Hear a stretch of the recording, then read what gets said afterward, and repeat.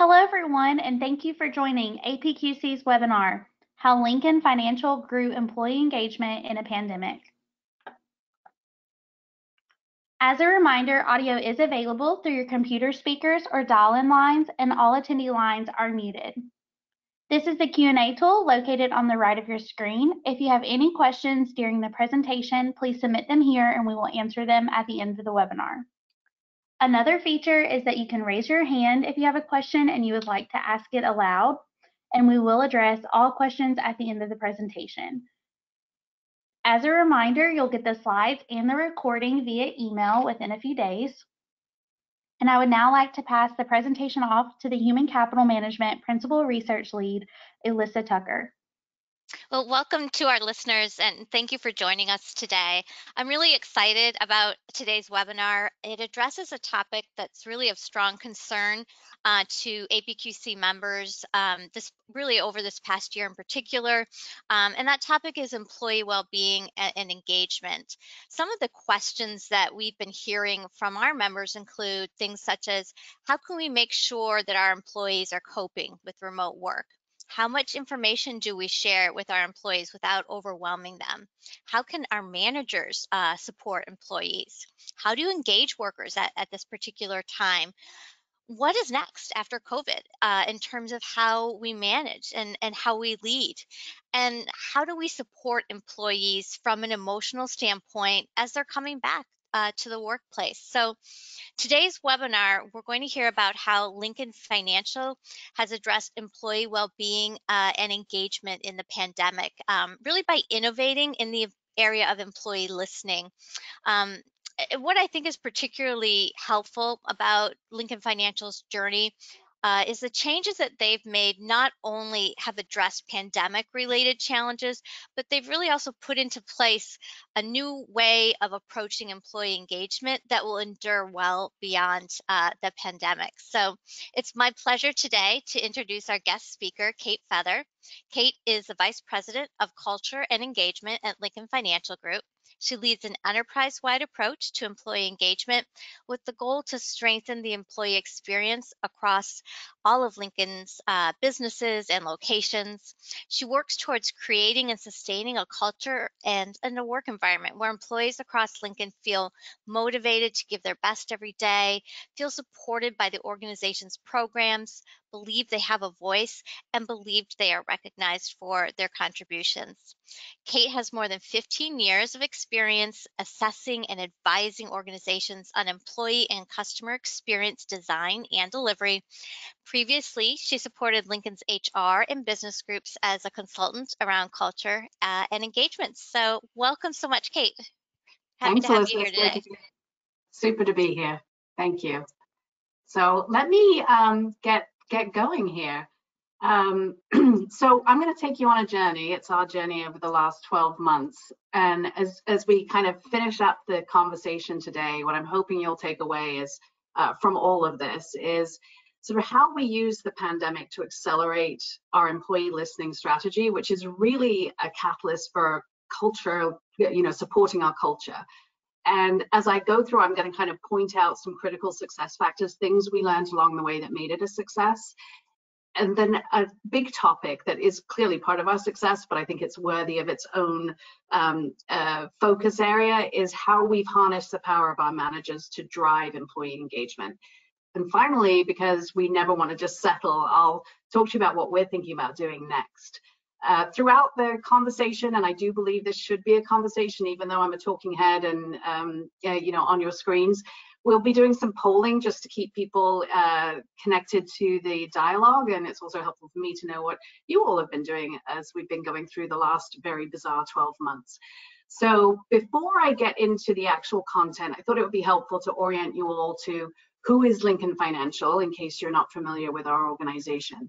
We are a uh, financial services organization, been around since 1905. We're headquartered out of Radnor, Pennsylvania, but we do have um, a national footprint. We're in the US only, about 11,000 employees um, in total, 11,000 plus.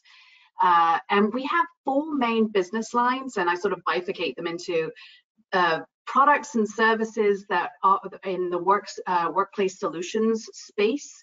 So what that means is that we support employers with offering their employees important benefits like short-term disability, dental, uh, and in our retirement plan services group, investing in 401ks and building um, building wealth for the future.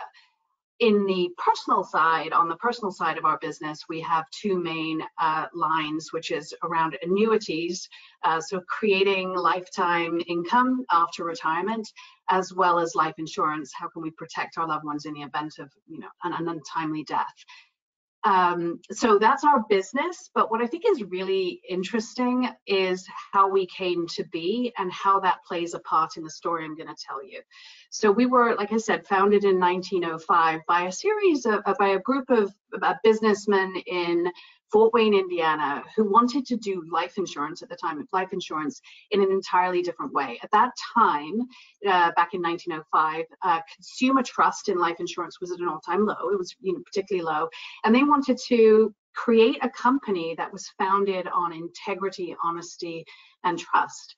And so in doing that, they thought, well, who who at that moment in time is the emblem of integrity and it was Abe Lincoln. So they actually wrote to Abraham Lincoln's son, uh, Robert Todd Lincoln, and asked if they could use his name and his image and got permission. That was really a game changer in the marketplace, right? It allowed Lincoln to differentiate around um, integrity and trust. And we had taglines at the time like, um, its name indicates its character, and we're as sound as the policies of Honest Abe. But over time, it's really become a differentiator for employees uh, because when you join Lincoln, you know you're joining a company that really does live and breathe integrity, respect, and care, uh, not just for our customers in the marketplace, but also for our employees. And i will come back to that in a minute as I get into this this journey, uh, this, the journey we went on. Um, but now let me just um,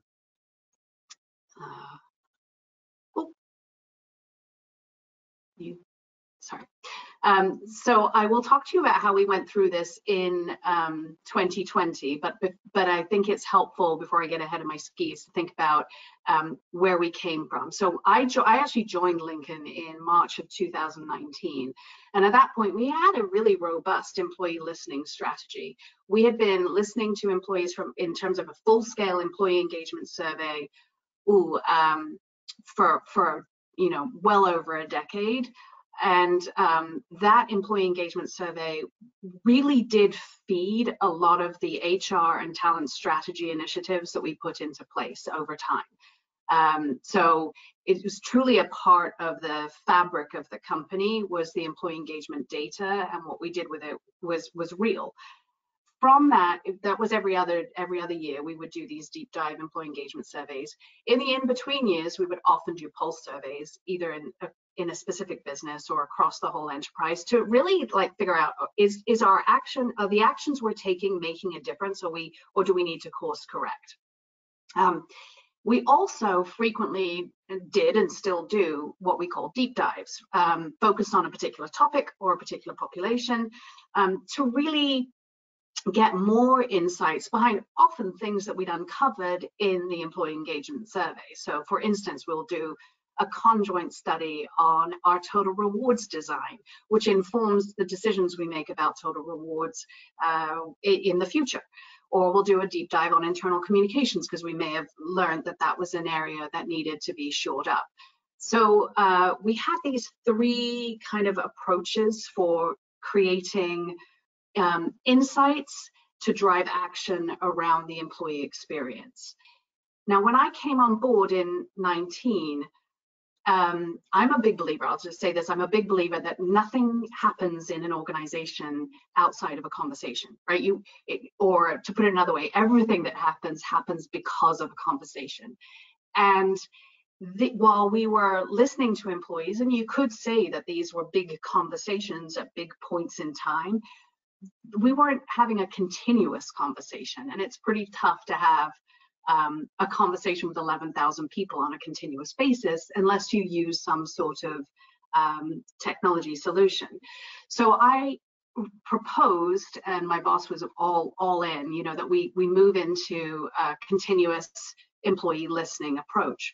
But at the time, we got a fair amount of pushback from um, the business and from leaders in that, you know, won't this lead to over surveying uh, and survey fatigue? Will we really be able to take action on the feedback that we're getting? What would this do to productivity? Um, and so we were still in those debates when the pandemic hit. Um, and what I'd love to, to know sorry, I'm moving too fast. Um, what I'd love to know from all of you, uh, before I tell you what we did, is when you think about 2020, um, uh, did the frequency with which you listen to your employees uh, increase? Did it go up? Did you keep it the same? Or did it decrease? And I'm going to give you a few minutes just to respond to that because I think it gives us a, a sense of uh, how similar everybody's experiences have been who are on the uh, who are on the call. We just need a, a couple of minutes and then I'll talk to you about what we did.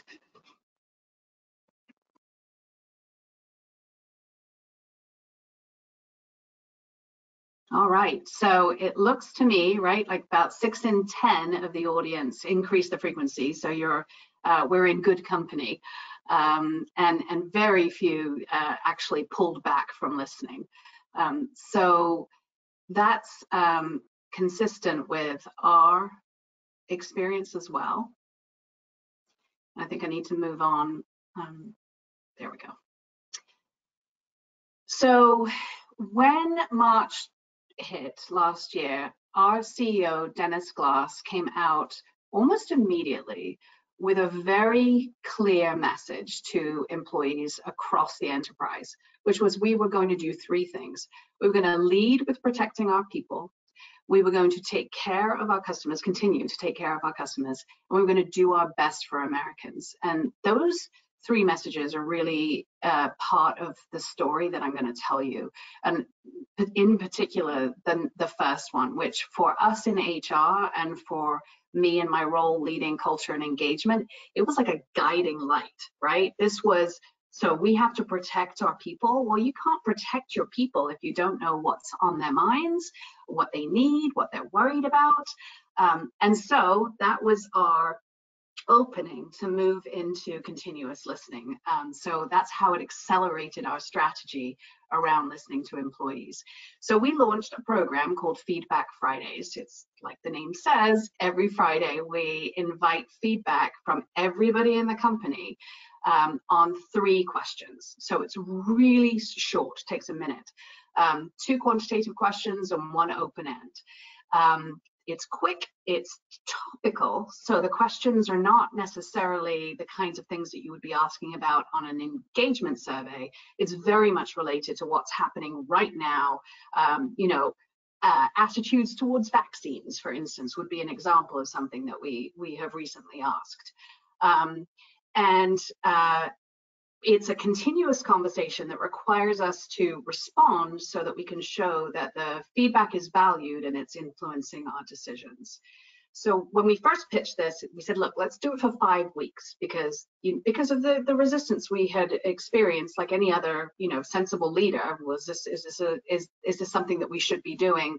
Um, given you know the pressure it could put on the organization perfectly good solid um, leadership questions but so we said well let's let's just do a five week pilot we'll listen we'll respond and then in the fifth week we'll assess um, assess success so um, over the rather sensitive, sorry. Um, over the five weeks, we started with um, questions about productivity, right? So everybody went home, you know, almost overnight, right? And and the question was, well, are people um, able to get their work done? Do they feel that they have what they need to be productive? And so those were the questions that we were asking in that first week. And a lot of what we were hearing back were things like office supplies. How do I make sure I have my pens and um, post-it notes and things that I that I used to use all the time? How can I ensure that I can get those now that I am in my home office?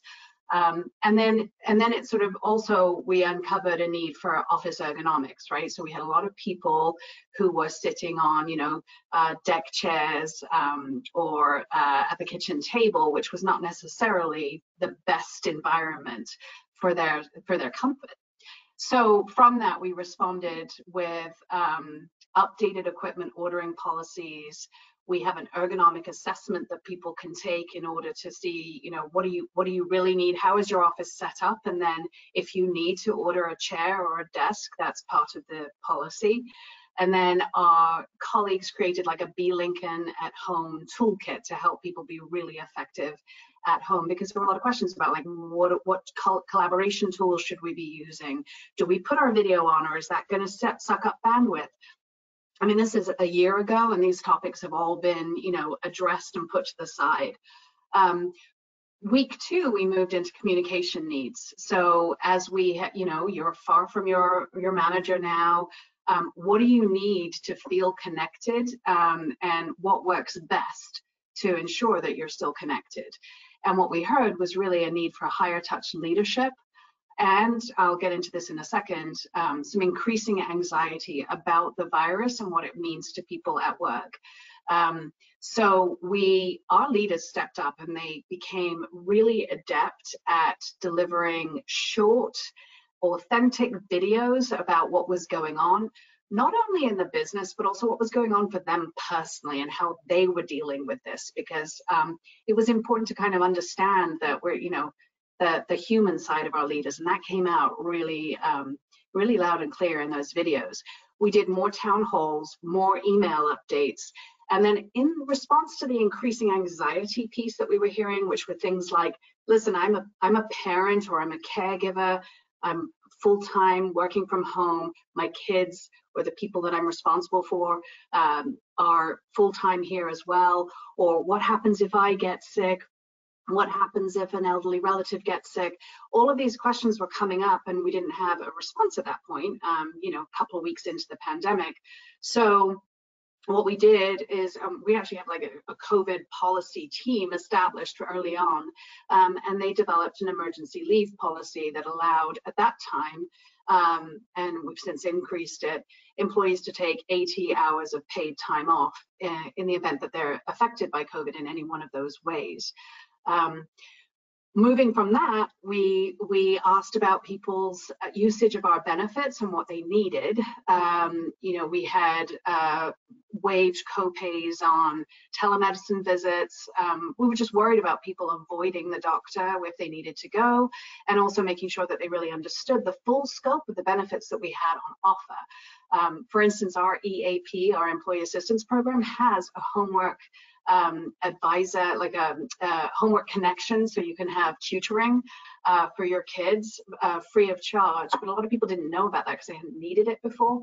Um, so we uncovered all of that, held a, a benefits town hall, first of its kind, and had tremendous attendance. We had two of them, and you know, people um, people showed up and really um, learned and built awareness. And actually, in our employee engagement survey in September, we discovered really increased positive perceptions of our benefits and it's largely because people have had to you know use them and educate themselves because of the need. Um, we also launched our communications colleagues launched some moments that matter videos over the the following months that sort of had real stories from employees talking about when they've used a, a Lincoln benefit at this time. Um, so we built sort of a, a clarity and understanding around that the fourth uh, topic was actually about paid time off. Um, we were, like many organizations, I imagine, discovering that people were avoiding paid time off. Um, and that was not good for burnout and stress. Um, and it was not good, quite frankly, when, you know, when you're carrying those hours on the books. Um, so we wanted to help understand why people were avoiding it, how we could help them to really decompress and take care of themselves um, and avoid that burnout that we were seeing. Um, so from that, we curated a lot of information about travel because people didn't know, like, where can I go and is it safe? And um, we really communicated directly to managers to suggest that they, they support their employees in scheduling time off, and even if it's just a staycation, just to decompress. Um, and one of the things I was most proud of was that we, you know, people wanted to increase carryover we didn't think that was a good idea um, for the financial reasons that I referenced, but also people were burning out. Um, and we didn't want to have that be uh, something that we supported by communicating that, okay, well, don't take your PTO and you can take an extra two weeks over into 21. Um, so we had a very honest, direct communication go out to all employees explaining that while we were hearing people wanted to increase carryover, we weren't going to, and here were the reasons. And we got great response to that um, because of just how, how transparent we were being.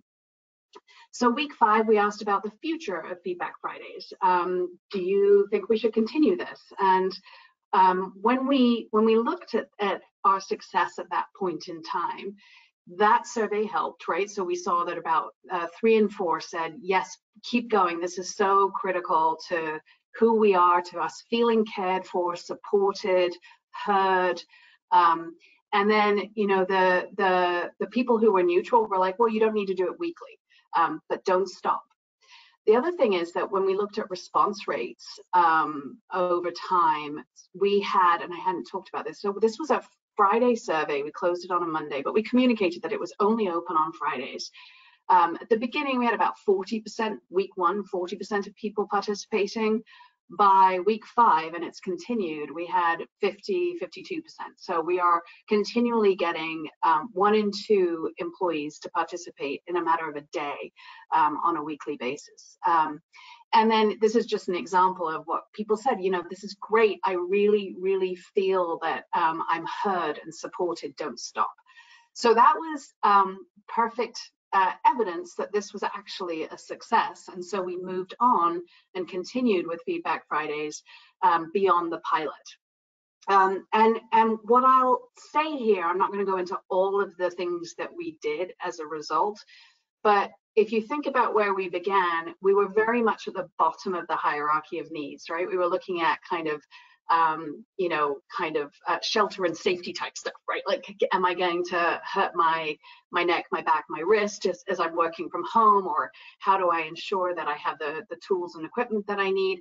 And as we started to listen, it became much more higher up the hierarchy of needs um, things around, um, you know, sense of, of, belonging and inclusion. And that became particularly true uh, in the summer after the, the murder of George Floyd.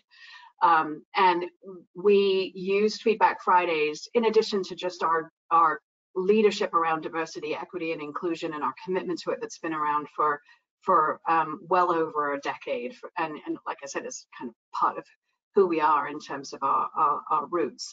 Um, but we we um, we started a series of crucial conversations. One of the beginning of which was using our EAP uh, counselors.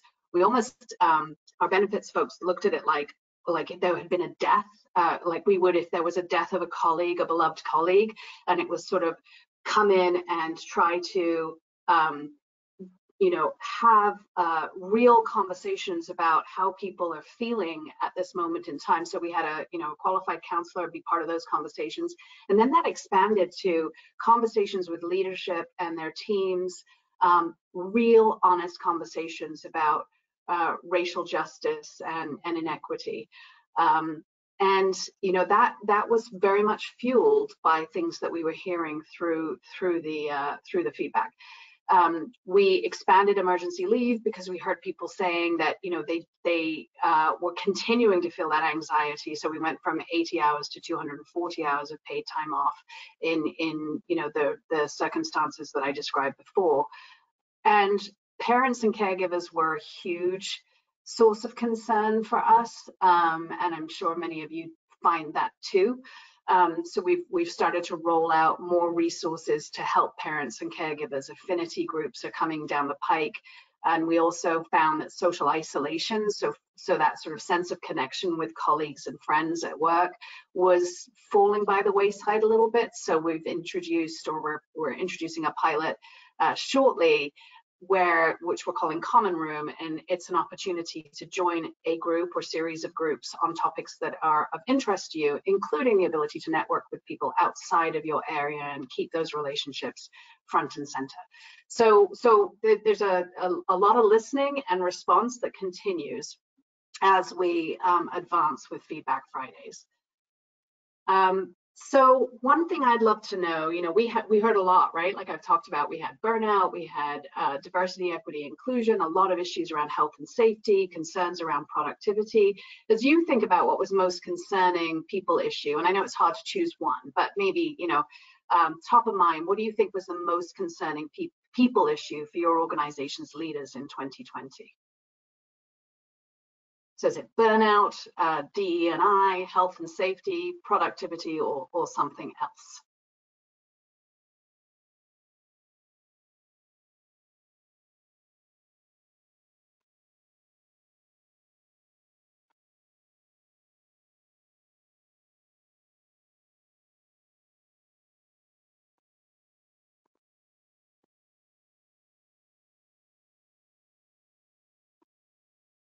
All right. Yes, health and safety, uh, followed by productivity.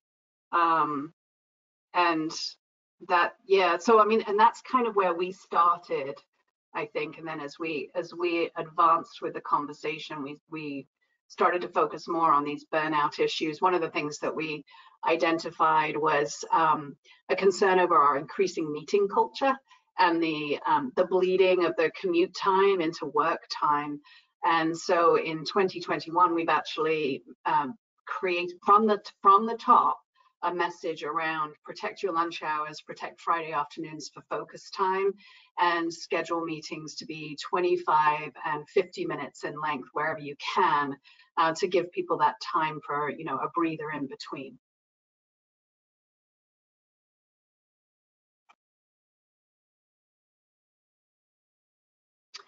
So I think that one of our critical success factors here and how we've maintained momentum, uh, participation, engagement in Feedback Fridays is this closing the loop aspect. And the way we've done that is in really three parts, I would say. Uh, the first is that our CEO and his direct reports view this data in a one page dashboard every week. So as we were, and I'll, I'll be on, uh, in 2021, we're not doing it weekly um, because we heard that feedback, which I'll, you know, we heard that actually in the employee engagement survey in September. Um, so as and when these dashboards are produced, our executives are reviewing them and understanding what's going on and then sharing that with their senior leadership teams so that there's a true understanding at the most senior levels of the, the, the challenges and the way that we should be responding. We also use our, uh, there's a channel specifically for people managers, and we do communicate directly with people managers about things we're hearing so that they are also aware. Um, and then we ensure that employees are aware of what's happening partly through our leader videos. So our leaders do talk about, you know, in Feedback Fridays, you told us this, this is our response, uh, which is very effective. Um, but we also have recently launched a channel that's specifically about closing the loop on employee feedback. So that's where you go to find out what, what did you learn from this last Feedback Friday or from the employee engagement survey or from any other listening post and what is the enterprise doing about it. So critical success factor, obviously closing the loop, but it starts with leadership oversight and interest in what's being said. And I think because we had that um, guiding light in our CEO's statement up front that we're going to lead with protecting our people. I think that gave us a really big opportunity to, to do this. Uh, so our, our current employee listening strategy now has four elements, right? We have the biannual employee engagement survey, we have our pulse checks, we have our deep dives, and we clearly have this continuous listening, which following the five week pilot became it became obvious that this was a um, an indicator of our culture and how much we care about employees and taking it away was not um, at all on the table. Uh, we couldn't possibly do that partly because people supported it um, or largely because people supported it, but also it shows it, it's a it's a, a, symbolic of how much we care about having a conversation with our employees, even if it's done through this technology. So September was the um, biannual date for us to do our deep dive employee engagement survey in 2020. And we went right ahead and, and did that um, to update our priorities, inform our HR and talent strategy, and assess you know where things stood from broader perspective beyond the topical that we've been exploring and uh, what i think is um, uh, one of the things we're most proud of is in the past we had engaged employees in the idea of the survey and in participating through a lot of high touch in-person efforts. So we always had road shows and we would have our senior leaders go visit all of the sites and talk about the importance of the engagement survey and how we've used the feedback. And we would have posters and tent cards and giveaways. It was all very much um, sort of, you know, face-to-face leader to employee driven. And we couldn't do that in 2020, obviously. So we had to get kind of agile and kind of creative. And I'm so proud because the campaign that we came up with and the tentacles that came from that um, well, one, it, it, won an award, so our creative team just, you know, were phenomenal. Um, but, but, but two, it led to better results than we'd ever seen in terms of participation. So what it was was we came up with this, um, give us your two cents, right? So Lincoln is on the penny. Um, your two cents is your opinion, um, but we tied it to the third prong in Dennis Glass's statement up front, which was um, doing what we can for Americans. So we have a very strong foundation that had been um, um, giving to Feeding America to help with the, those who were, you know, the food insecure, um, which was a growing problem, as we all know. So what we what we did is we said, well, if you if you give us your two cents, it's going to add up to a, a lot of change, a lot of change, being what we'll do in the organization based on your ideas, but also for every employee who posts on our channel that they gave their two cents with their picture of their postcard, we will donate to Feeding America. And we had tremendous response because it was so tied to who we are as an organization and the purpose um, and uh, you know, it just it, it just led to great followership. Um, and when I talk about the kind of how we close the loop with employees now, the channel that we have um, on our uh, social, um, so, so our mobile intranet is uh, called Your Two Cents at Work. So how we're putting your two cents to work. Um, and so um, the the results were phenomenal. We had a 95% participation rate across our 11,000 plus employees in the employee engagement survey, beat any prior records, beat our um, partner Perceptyx. Uh, we work with Perceptyx on this. Um, uh, you know, they'd never seen like we're maybe uh, with the top 4% of companies in terms of participation our most employees 91% said they felt supported throughout covid um, and taking you know adapting and adjusting to the changes that were coming because of covid. And i think that was um, really uh, indicative of how successful our listening efforts have been and our and our response more importantly. And we had really strong scores around our managers where in the past maybe it hadn't been as robust but because we've been engaging our managers and i'm going to talk about that in a minute um, and, and having them understand their the importance of their role now that people were remote. Um, it really helped to um, strengthen the uh, connection and the scores around individual managers. And lastly, we had just some tremendous pride in Lincoln, and I think that's a lot of that is driven by how we showed up for Americans as well as for our customers and our employees. Uh, so I'm going to talk about how we used our managers in a sec, but I'd love to know from you all. Um, does your organization currently give managers at all levels in the organization access to employee engagement survey results? So do you go all the way down to all people managers? Do you keep it at a different level? And it's just a simple yes, no, or you don't know. Give it a couple couple seconds here, see where, where you guys are landing.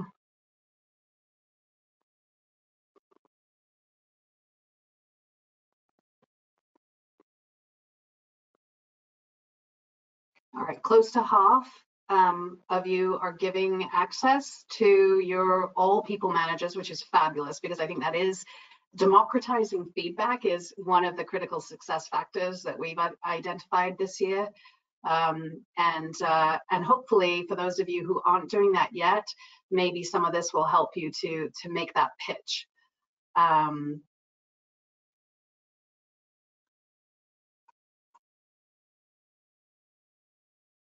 so how have we, you know, we're looking at like maintaining momentum. We've got Oh, I didn't say, I should have said, we, we grew engagement. The actual score of engagement increased five points. And we use a very stringent measure to assess engagement that requires people to agree or strongly agree that they would stay with us, that they recommend us, that they get a sense of accomplishment from being here and doing their work and that they're proud. Um, and we saw a five point uptick, which was significantly higher than, you know, comparator benchmarks. Um, and in some of our groups, we had like 21 point increase. So uh, real, real movement on the outcome of engagement. Um, so we need to maintain this, right? We can't have any slippage particularly as we think about return to work and what does that mean? And you know if we're considering hybrid models which a lot of organizations are talking about how do you ensure that you continue to engage and connect with people when there's no longer this level playing field um, that we all have when we're on when we're a little square on a screen and everybody's the same square? Um, so we think about maintaining momentum in three ways uh, three levers that we're pulling. One is manager know-how one is, one is manager accountability. And the last is actually using social norms. So people I admire, people like me doing things that, hey, I could do that too. Um, so I'll talk to you about each of those as we go through. So know-how we give access to the engagement area, you know, spoiler alert, um, to all people managers. So we have 1600 plus people managers. Every one of them got trained on the system that has that houses the data, and they all got access to, you know, log in and view the information. If they had five or more direct reports responding, they saw their own data, which was a, a dip from, we used to be a lot more conservative about that. Um, and then if you had fewer than five, you saw the data for your manager above you because even if it's not your data, you should be, and you're going to get bored of me saying this, you should be having a conversation with your team about engagement. So even if it's not your data, it's the data for your manager, getting together with that small team and saying, this is what the, the big group is saying, what matters to our engagement, how can I help drive our engagement, was something that we were coaching everybody on doing but we wanted to make it simple, right? So we have a lot of player coach managers across Lincoln. Um, these are, you know, folks who who are doing and and leading and managing, um, and so we couldn't ask them to do, you know, too much. And quite frankly, I truly believe that you need to just do one thing to see a catalyst for change in many other areas. So we said choose one team priority based on a conversation. So the results were we did the survey in uh, towards middle to end of September. Managers were trained on the system in October. We really, really quick turnaround.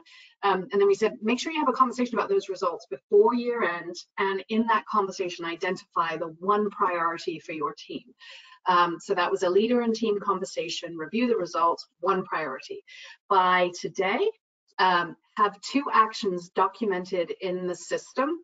Um, in, and so the system has an action planning tool. And so every manager needs to go in and say, this is my, my focus area here, two things I'm gonna do. And in the system, you can schedule three conversations throughout the year. Um, I'm pleased to say, I think we're like up to nearly 70% of actions documented in the system, um, which includes those scheduling those those conversations so that it's not just a one and done. Um, so accountability, um, how do we get people to, to go in and do this is really driven by oversight. We create dashboards for every senior leader that says this is where your action plans are at, how you compare to the enterprise. Your little friendly competition never goes along, but it never hurts and can go a long way. Um, and um, we also show the top um, the top areas of focus for the enterprise and then for that business area. And that's really important because we don't want to just say like, are we being compliant and creating an action plan, but are we actually um, ensuring that uh, people know what's critical to their populations, what are their managers working on, and how can we from the center, from the culture and engagement team and our other colleagues in talent and total rewards and, and the like, support managers in making a difference and moving the needle. So that's one thing is these quarterly uh, dashboards to assess progress. But the other is um, that we are planning, and we've made this very clear, a pulse check in September that will be very simple. It'll be, did you hear about the results from your manager? Did you um, hear about the action plan? And have you uh, had conversations since about progress on that action plan? And are you seeing um, change? Are you seeing things get better? Um, uh, so, so that's how we're driving accountability, but we can't drive accountability without having given them the know-how. So we gave them this, this process, this training, you know, tools, resources, workbooks, videos. I mean, they've got everything that they need to know how to do this. And then it's about holding them accountable. And then the final lever, which I think is really important, is, is the social norms piece, which is um, we have done a series of interviews with some of our leaders who got the highest scores in the engagement survey um, and had them sort of share their best practices. How do you create engagement? How do you maintain engagement? And showcasing some of those leaders at every level. So I'm, I'm, this is not just our corporate leadership group, which is our top 80 leaders in the company. This is, you know, a dental claims manager who just has a really good way of creating a sense of purpose for her uh, direct reports. Um, we we highlight these stories, and I think that goes. Um, it just helps people to say, like, okay, this isn't this isn't rocket science, um, and I can I can do that too, and it could be effective for my team.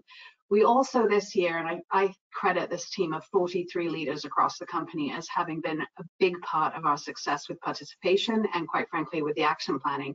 We have 43 engagement ambassadors across the business who are meeting with managers on a regular basis, sharing information about what's happening, what the expectations are, answering questions, bringing them back to the culture and engagement team. Um, and they are really driving you know driving participation from our managers and helping them understand like this is this will help you be more successful right? Like it's not just a, a, like i said a tick the box exercise but this can truly drive your success as a manager because nobody wants that revolving door. It's a it's a nightmare to try and get people up to speed um, and you may as well have a very stable fully functioning team. Um, that's a lot of an engagement focusing on engagement is a big way to do that. Um, we also held for the first time ever an all manager town hall. So we brought everybody, all 1600 were invited to, virtual to, to join a conversation and a panel with some of these engaging leaders around what they do and, and, and, and, and why this matters. And I think just that sense of inclusion that you are a leader in the business, even if you're a brand new manager, you're a supervisor in the call center, you, you play a huge role in being the, the, the catalyst for you know you're you're carrying our culture and you're ensuring that we're driving engagement and supporting engagement. And so we we you know we we wanted them to know that that role was really important and that we that it was valued. Um, and that was also part of a little bit of part of the um, the, the know-how piece. But it, it, in social norms you know you're seeing people again people that you could that could be you on that stage that virtual stage talking about what you do that makes it such a success and then friendly competition always helps, right? Um, so, uh, getting close to the end here, I'd like to just share with you briefly where we think we're going next. Um, so there's no question that Feedback Fridays is part of our organizational culture now. It's part of how we do business. Um, it's it's critical to people feeling supported, heard, cared for, and quite frankly, it drives a lot of the actions that we're taking within the HR organization. But we think we have a, an opportunity to go uh, more um, uh, go go kind of horizontally across the employee life cycle.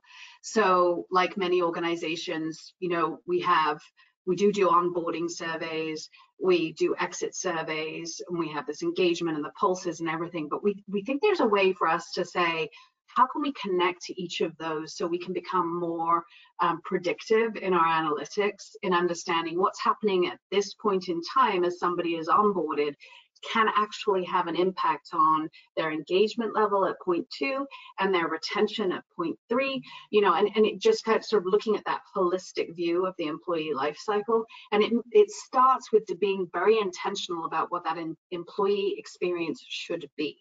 Um, and then focusing on the moments that really matter to delivering that employee experience. And we we're borrowing this from, I've done a lot of work in my prior life on customer experience design and it's truly borrowing that and putting it into the uh, into the internal experience the internal customer experience. And so finally as i think about what we've learned from this and hopefully this came across as we talked about this connecting to the vision allowed us to create alignment around this change right? So that you know lead with protecting our people. We could say well we can't do that if we don't start a conversation and know what they need to feel protected. So that was one thing is being able to you know connect to the vision and quite frankly the two cents campaign and connecting to that bigger purpose around protecting americans and doing our best for americans was was a big part of that too. Um, obviously it goes without saying you've got to close the loop to fuel trust even if closing a loop means telling people something they didn't want to hear like we did with the pto it was okay um, because they, they felt heard and they understood the rationale and it was about you know mutual trust and respect for each other's opinions um, so closing the loop fuels trust um, aligning to the bigger purpose. I, I, think I just said that uh, in a in a different way, but you know, so the Feeding America thing really drove participation for us um, because people could see that their two cents added up to a lot of change, not just within Lincoln but elsewhere. Um, building know-how and accountability for local action and response is going to be your biggest opportunity for making real meaningful change and engagement because how people feel is very much driven by their local experience and the relationship with their manager. Um, and whether or not they believe that the organization is committed to engagement, ensuring that they feel um, that they are, you know, that they're motivated, that we want them here, that they belong. All of that is very much driven by the local experience. So you got to fuel that kind of connection um, and, and use use your managers to make that happen. And then, like, if you didn't hear this, I'm just underlining it one more time that nothing is going to happen in an organization, in a team, in a marriage outside of a conversation. So you've got to start that conversation, however it's going to work for your organization in order to grow engagement in a pandemic or at any time. So with that, I think we'll open up for some some questions. Wonderful, great. Thank you so much, Kate. That was a really engaging presentation. Um, what I, I love about uh, your story is just what a holistic approach you took and how everything that you did reinforced um, the ultimate goal. Um, so just really hearing you talk about it in that way, I think is very helpful and, and illustrates, you know, why you had such success, um, all the different levers that that were involved. So thank you for for sharing your journey and your story. And I'd like to um, ask our uh, listeners to please, if you uh, haven't already, go ahead and submit your questions, uh, and I'll be happy to facilitate some Q&A um, with Kate. And just you know already kate's just positive feedback. And, and thank yous from the listeners for for sharing your thoughts your story and and sharing your strategy at, at lincoln. So um yes you know i echo that. Thank you so much. And while we wait you know to see if we have any questions from the listeners i did have a few questions that i wanted to ask for from you um you know you, you talked about how you got leadership buy-in to do the feedback friday surveys and the pilot that you did for companies, people who work in companies who maybe aren't so receptive, um, didn't have those three pillars or prongs that you talked about your leadership having uh, to kind of tap into, do you have any advice if you're someone dealing with leadership that's more skeptical um, about this? Um, any suggestions for how to kind of start moving things in this direction? Yeah. Yes. Um, I I am always certain that there's a spectrum of support in the business and you will have somebody somebody in the business who says yeah i i like this idea i want to do this i am you know at heart an engaging leader and i want to have a, a deeper connection with my employees so if you can find that group um, pilot prove success and then it and then generally it kind of you know um, um, snowballs from there. Uh, so I would I would say look for an advocate, somebody who's willing to to trial it, even in a small group, and just see how how that uh, how that works. Yeah, that, that makes a lot of sense. So I have a, a listener question. Uh, the question is, how can HR approach the topic of trust um, when talking to executive management and to board members? And, and this listener comments that lately HR um, has been asked to leave leave certain conversations. So how can we as HR build our own trust with management? Um, so how does HR, I guess, build trust in the organization? So basically, how do you prove your value? I guess that's what we're saying is, is, is it how do you get leadership to see that you have value and you should be at the table?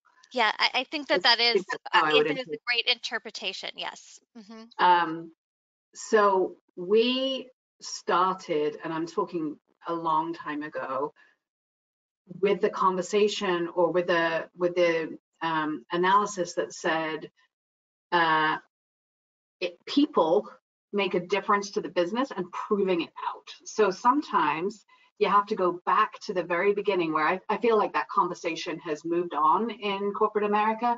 But if you don't have that trust, you need to be able to demonstrate through data and facts that we did this thing and it had this outcome, this impact that we can tie to this important business objective. So speaking the language of the business is going to start, you know, you're going to start to build trust. Um, and, and you really have to like take on an advisory approach rather than uh, um, a transactional relationship. So it's very easy to think of HR as being employee relations, um, you know, and dealing with the dealing with the nuts and bolts of HR. Um, but but we have a huge part to play, and quite frankly, for our profession, uh, to prove that the work that we do does make a difference to the business through through retention. You know, what's the cost of attrition um, in certain roles? How long does it take you to onboard people? Can you cut down the time for onboarding? Can you prove the link between employee engagement and customer NPS scores? Um, there's a, a whole host of ways you can look at this depending upon your industry to start to, to tell the business case for what HR does. I hope that helps. I think it does. And that listener did write back in to clarify. And I think you're right on with what they were talking about. They're just saying that, you know, with employees, HR in their organization has the trust, but it's really with the board and executives that they're still having to prove themselves. And I think that's great advice, you know, uh, talking the language that the executives and the, the boards talks in and, and prove prove out those those linkages that you just talked talked about. Um, yeah. yeah. yeah. Like for instance, just to follow up on that, like the um, the big concern right at the beginning of the pandemic was around productivity, and we, I mean, I'll, I didn't hear this, but so this is my own words, but I think a lot of people were like, well, what are people going to be doing when they're at home? Are they going to be, you know, putting in a load of laundry or going for, a, you know, a nice long walk in the woods or something? And and you know, I think that if you can show that you're able to, through what you're doing, ensure productivity, like you speak their language, they're worried about productivity. Are they worried about diversity and inclusion and ensuring that they have, you know, a good, um, diverse group of people to drive innovation in the organization? Because innovation is a buzzword. Like, listen for what matters and then think about how you can connect what you do to what matters to those business leaders. Okay, great. Thank you so much. Um, I had a, just another question for you. Um, can you talk a little bit about, you know, how much it costs to to start doing listening more continuously? Um, just looking even at Feedback Fridays, is this something that um, someone considering doing more than just an annual employee survey, adding more of this listening? Is this a huge expenditure um, for them? You know, what was it like for you? No, it wasn't. Now we have a relationship. I mentioned Perceptyx, who are, you know, uh, a great partner to us. We have a relationship with Perceptyx on our employee engagement and pulse surveys. They had a simple self-service tool, and I, I, mean, you could use SurveyMonkey if that's what you have in your in your organization or Qualtrics or whoever you're working with. But they had a simple self-service tool. So we we do this from inside the company um, and the and it comes with you know dashboards and analytical tools so it's not a big lift The hardest thing is making sure that you're, you know, you understand the topics that are on people's minds and that you're crafting the questions to get at the answers that you need. But um, honestly, if you have those skills, it's not even that difficult. So, and and it was not expensive. I'm telling you, like, um, probably anybody would, you know, like it's, it's it wasn't a big deal. I don't remember the exact amount, but it was Yeah, Yeah. and you certainly you've talked about so many benefits that the organization has reaped from this. So, you know, certainly whatever investment you had to make really has, you know, really paid Paid off. Off. dividends. Yeah. Yeah, yeah, yeah. Um, so I just have one final question for you, and, and it was really about um, managers, the manager piece, because I thought that is such an integral piece uh, of what makes um, what closes that feedback loop. And some, I think that's an area that um, not every company is able to to make that leap um, towards closing the feedback loop and involving managers and leadership to the extent that that you have. So, what kind of feedback have you heard from managers um, so far? um, extremely positive about so that town hall that I mentioned that we kicked off like maybe last September was the first was the first one we did. People were like so delighted to be part of um, part of that community where you know if you think if your company is at all hierarchical even if you're you know there's there are levels and sometimes you feel like you're not part of those conversations or included or seen to be a leader even though you have leadership expectations, responsibilities, right? So that got huge, uh, hugely positive feedback. And then honestly, the training um, the, that we gave managers on how to get into the system, how to have a good conversation. Like we, we didn't just say like, here's how to use the technology. It was like, how do you have a conversation? And what do you do if you're not comfortable with those results? So they were developing, right? We were developing them as part of this. So there was a very strong um, benefit to them as leaders. Okay, great. Yeah, it's so important to do those those steps. Um, I just have one more um, thing from listeners, so I'm just going to read it real quickly. Um, it says, when it comes to feedback um, from managers uh, when sharing engagements results, um, yeah, is there a natural fear for, on managers' part of receiving bad feedback? Um, and Yeah. is that maybe why some companies don't share uh, the results of their surveys more broadly? Um, is that that fear of the negative feedback? And how have you dealt with that? Um, absolutely. And everybody's going to be on a spectrum. What we say is, and it sounds cheesy, but it's true, feedback is a gift. And this is not about what you did before, it's what you're going to do next. Um, so use it to use it to get better. Uh, Yeah, that, that's great advice. It's about what you do next. Um, well, thank you so much. We're, we're pretty much at time, but thank you for, for sharing your story. Um, really appreciate it. And listeners, you'll be getting a copy of the slides and the, the recording uh, in a follow-up email. And uh, just thank you, Kate. And I'd like to turn things over to my colleague, Madison, who's got some, some slides to close us out today. Thank you, Kate. That was a great presentation. And I just would like to remind everyone that you will receive a copy of the recording from today's presentation within a few days, as well as the slides. And we've attached some additional resources from our resource library. If you haven't checked out, they relate to growing employee engagement. And I've provided Alyssa's contact information. If you have any questions for APQC or any additional questions for Kate, um, please reach out to us and we'll get those answered and get back to you quickly. And if you haven't checked out our check out our employee um, human capital management expertise page, it provides the latest um, updates with within our research in the HR function. And if you haven't already, connect with us on social. And thank you for joining. I hope you have a great day. Thank you again, Kate.